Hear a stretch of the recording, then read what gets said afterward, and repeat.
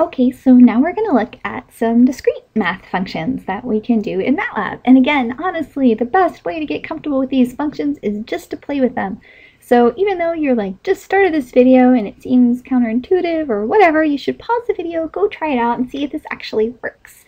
Okay, so um, like you could go to factor and remember if you're not really sure how to figure out what factor does, what you can do is you can come in here and say help factor and it's like, stuff, you can't see it. Um, help factor. So if we look at this, we can see all the different things going on with factor. And it's like, here's a simple sieve approach, and I don't really care, blah, blah, blah, blah, blah, blah, blah. But there, it returns a vector containing the prime factors of n. So I would kind of expect that if I say factor um, 6, it comes back with 2 and 3. So in fact, the factors of 6 are 2 and 3. All right, so for each one of these, you should go spend some time with it, play around with it, um, put in some inputs, see if you get the outputs that you would expect, and do that kind of thing. Um, so I'm going to do this down here. So I'm going to start off with some discrete math. All right, so what are these going to be that I'm going to look at? Doo-doo! I'm going to look at these. All right, so factor, pretty sure I know what that does. But let's try some different ones. Let's try something that's prime. Do I get what I expect? Yeah. So it actually doesn't come up with the 1. That's important. So, um, because 1's not prime, so that doesn't count. Um, let's say if I do something like uh, 12. That's uh, 12. So 12 is 2, 2, and 3. So it's not going to actually come and say 6 and 2 or 4 and 3 or 2 and 6 or whatever. It's just going to come back with the prime factorization. So kind of like if you did number trees back in like grade school or something um, where you like came up with all the different values. Um, don't know what I'm talking about? So like if you had to do 12, you'd be like 12, well that's 6 and 2. And then 6 can go into 2 and 3. And then that means that I have 2, 2 because that's prime 3, so you have 2 times 2 times 3. That's what MATLAB's doing. Okay. So, factor. GCD. What do you think GCD is? Well, again, you want to go in here. Help. GCD. And it's like, um, greatest common divisor. And you're like, oh yeah, I remember doing that in third grade too. So like these are all discrete math functions They're kind of like third grade functions, except you can do really cool stuff with them in discrete math. So GCD, oops, greatest common divisor. Um, so that would be like the, like if I have, like if I'm simplifying fractions. So if I'm simplifying fractions and I have something like um, 12 over 3, um, the greatest common divisor of the two of them is 3. So I could divide the top and the bottom by 3, and then I get my reduced fraction 4 over 1. Or if I had, you know, um, 33 over 22, I can say, well, my greatest common divisor is 11, because that's what I would use to um, make my little functiony thingy go down and get that to 3 halves. My fraction thing go down to get to 3 halves. So GCD. So if I put in GCD of 33 and 22, I sure hope I get 11. Yep, I get 11. So there you go. Um, LCM. It's another one of those um, third grade, fourth grade things. I keep saying third grade and fourth grade. I don't know when I learned this. But LCM, that's going to be your least common multiple. So if you're making notes for yourself, GCD is greatest common divisor, um, least common multiple. So for least common multiple, that would be the thing like if you're um, trying to find a, a common denominator, I guess. So, um, so if I had like um, 7 fourths plus, um, I don't know, 6 over 5, then I could go, well, um, not that. I could say that the least common multiple between these two guys um, would really be 20. The least common multiple would be 20. So I would, I would go like this. And so the first one is top, multiply the top and bottom by 5, multiply the top and bottom by 4, and then I could go ahead and I could add my, my two fractions and get whatever that was with the least common multiple. The least common multiple isn't always whenever you multiply them together. So say I had 7 twelfths plus 4 ninths, and you probably remember doing stuff like this. So this has a 3 and a 3, and this has a 3 and a 4. So to make these even, this guy needs an extra 3, and this guy needs an extra 4. So the least common multiple is 36. And I could add those fractions now, like, like that. Y'all remember doing stuff like that? Maybe, hopefully. So if I look for the least common multiple of 12 and 9, I really hope I get 36. Um, LCM 12 and 9, do I get 36? Yay! Alright, rats. Rats is short for rational. And that one's just kind of fun. Um, maybe you can't necessarily guess what it does. Um, it uses to display rational approximations to the elements of x. So um, if I put in rats 1.5, it's going to come back as 3 halves. It's going to tell me that it's 3 halves. If I try rats of pi, does that work? No. Pi. Pi is lowercase. There, it's 33 over 113, 335 over 355. That's 3.14, whatever. So um, rats just gives me a rational approximation. So if I ask for rats of 0.67, hopefully it gives me two thirds. There we go. Okay, so rats just gives me the um, fractional thingy. Factorial? Yes, yes, maybe remember factorial? Um, factorial is a thingy where you have um, the little exclamation point. So the factorial would be like 6 factorial. It's like 6, yay! And it's 6 times 5 times 4 times 3 times 2 times 1. So that's like, I think it's 120, but it's something like that's 10, and that's 12, and that's some other number, like 72, so 720. I think it was 620. Can I not do math? 720. Well, I guess there's one way to find out, right? I have the power, so what is the factorial of 6? 720. Okay, good. So I did that. Um, I think the factorial of 0 is defined as 1? Yeah, that's kind of weird. Um, not that you necessarily need to know this, who knows, maybe you do, but the factorial of 0 is 1. And I think they just define that as the identity. I'm not really sure how that math works. I'm sure at some point I did, and I just don't remember anymore. N choose K. Um, these are those weird problems where if I have five different people, well, I don't know, maybe that's not exactly a good ex example. If I have five different people, how many different ways can I put them into committees of three? Um, so the N choose K, the idea behind that is say I had um, let's just say I have three people and I wanted to choose, so I have three, and I want to choose two. So I want to basically, how many different ways can I distribute three people in groups of two? Be like, okay, well, there's B, there's A, C, and there's B, C. And I think that's it. So we say N choose K, or 2 choose, sorry, 3 choose 2 is equal to 3. And I think, I think that's what MATLAB gives us. Let's check. That's a great way to find out.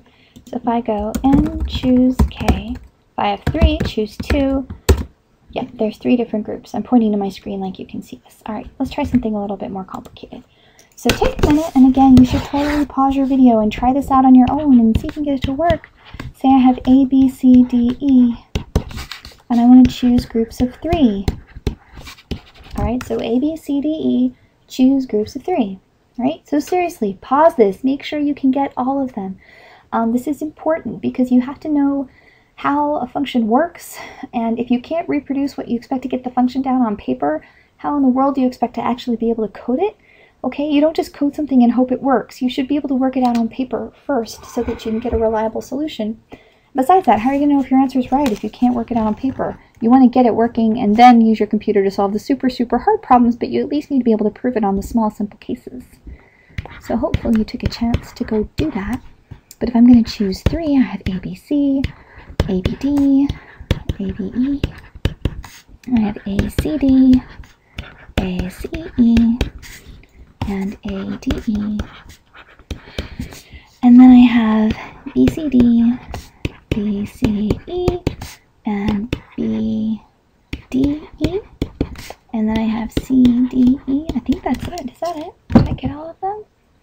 BCD, BCE, B, D, E, C, D. I think that's it. So I think that 5 choose 3 should be equal to 1, 2, 3, 4, 5, 6, 7, 8, 9, 10. 5 choose 3. Is that equal to 10? So, yay! Okay. So again, the idea behind this is um, how many groups of size k can we get from a population of size n. Okay, so that's what n choose k is. Now this is really important because you might be asking this already. Well, isn't CBA a different group than ABC? So like ABC, CBA, like what if we were, um, like the classic example is what if these are like people on a committee and you have a president, and you have a vice president, and you have a treasurer. Well then clearly these people care, and so out of ABC you'd have ABC, but you'd also have ACB, and you'd also have um, BCA, and you'd also have BAC, you'd also have CBA, and CAB, and all of those would count. all right, so these are actually, and for each one of these, you would have one, two, three, four, five um, additional. So basically, I think it's going to be times six is going to give you all the different options because I would have, yeah, I'm almost positive that's right. But um, we'll find out in a second. But whenever we talk just about um, n choose k like this, the specific word that you're looking for here is combination. Okay? And combination order doesn't matter. Order doesn't matter. My cursive is terrible. order doesn't matter you know what that word is supposed to be. There we go. All right, whenever I'm talking about um, ABC and all of these different options here, then this is called a permutation where order does matter. Okay. So um, basically, if I have if you really want to know, so the, the n choose k, the combination n choose k is equal to um, n factorial, the actual formula is n minus k factorial um, k factorial. Um, the permutation n choose k is just this guy. Okay, and um, so basically what we've done in the combination is we've divided by um, k factorial, so we've taken out all those extras. So they're basically the same except that we've taken out those extras. In our case, what was k? k was 3. So 3 factorial is 6. So yeah, they're off by a factor of 6. Okay, so that's really what we're looking at is whenever um, we're doing this in MATLAB, if you're using n choose k, you need to understand what that is, is that's a combination, and so the order doesn't matter. Okay, so we'll see. Okay, and if you wanted to check, you could see that you get the same answer if I say the factorial of 5 divided by, and we haven't really gotten into this yet, but the factorial, let me just copy this and put it in here so you can have it. Factorial of 5 divided by factorial of 5 minus 3 times the factorial of 3. And that actually gives me the same answer. Okay, So, so that's what that's what n choose k is. All right. Then we have primes, and that's kind of fun. Just try a number, see what you get. So you say primes, 17. This actually gives you all of the numbers below 17 that are prime, inclusive of 17. 17 and below gives you all the prime numbers.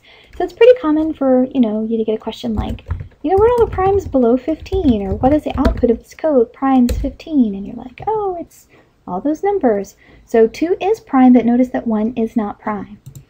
So I'm going to say um, lists all the primes less than or, or equal to x. And I'm going to make another note so I don't forget that says 1 is not prime. So, um, so there. There you go. Um, is prime you can probably guess what that one does, is prime 5. Comes back with a 1, and you're like, okay, what does that mean? Is prime 6. Comes back with a 0. Um, so basically what is prime does is it's going to return a um, returns a 1 if something is prime and 0 if it isn't. Um, because 1 is true and 0 is false. So because 1 is true and 0 is false. So there. So if I go is prime 1, hopefully it comes back no. Good. Alright, it says 1 is not prime. Awesome. Alright. So let's make sure we cover all these questions. So what is the difference between a permutation and a combination? Um, we'll put our answers over here. What is the difference between a permutation and a combination? A permutation, oops, is where order matters. For combination, it doesn't. Alright, is n choose k a permutation or a combination? It's a combination. How do you calculate the number of subgroups when order matters? Use a permutation. Um, you can either use the formula, so you can either do, what was it? The formula is n factorial divided by n minus k factorial, or, or you can do n choose k and then multiply by k factorial. Because that would, you know how they're different by, for to get n choose k, we divide it by factorial from the permutation one. So if you just multiply by a factorial, you can get the permutation. So there's two different ways to get it. Now you can't actually put the exclamation point into MATLAB. So let me write that in more MATLAB code. So it would be um, factorial n divided by factorial Awesome? Great.